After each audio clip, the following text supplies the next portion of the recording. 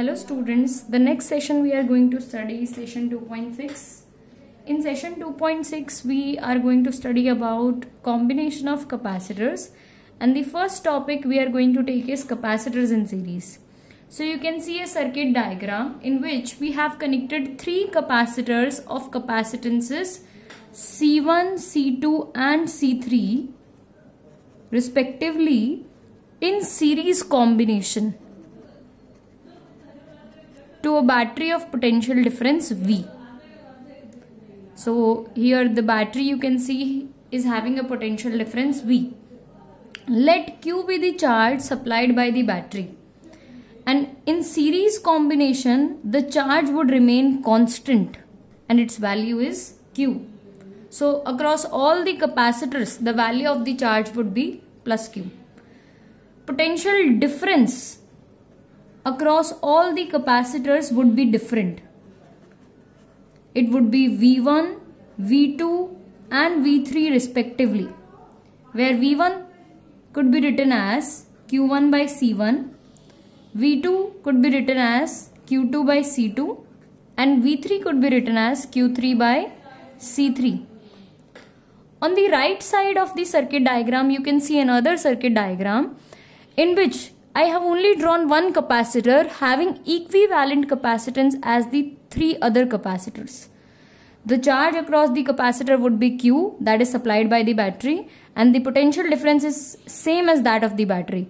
So here we could also write this V as Q by C equivalent. V could be written as Q by C equivalent. Now we know that the potential differences across the three capacitors, if we add all them, then we would get the net potential as the potential of the battery. So V would be equal to V1 plus V2 plus V3.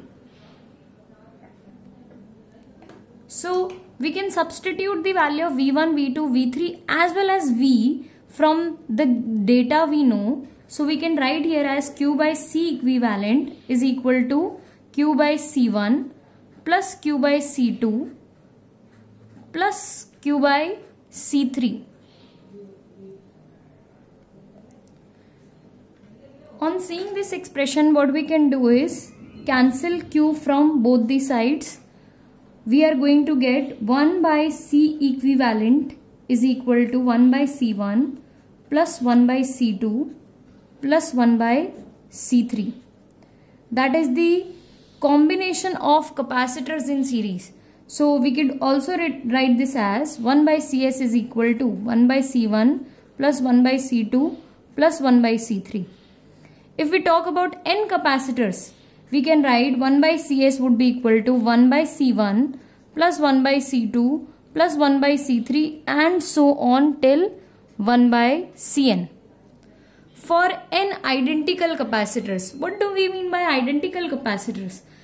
The meaning of identical, identical capacitors is the value of all the capacitances would be same. So we can write uh, all the capacitances as C.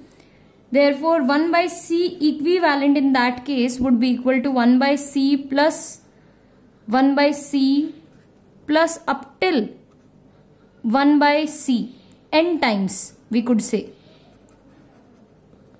So it would be 1 by Cs is equal to n by C.